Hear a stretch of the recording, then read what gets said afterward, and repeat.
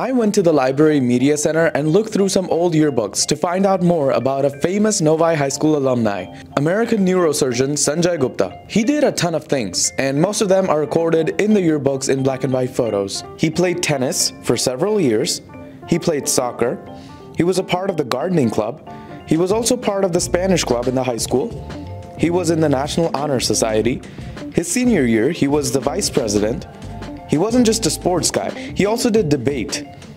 There he is with the team. You're probably not ready for the next one. He was, wait for it, a theater person. That's right, he was an actor in the play You Can't Take It With You. Next section in the yearbook was senior superlatives.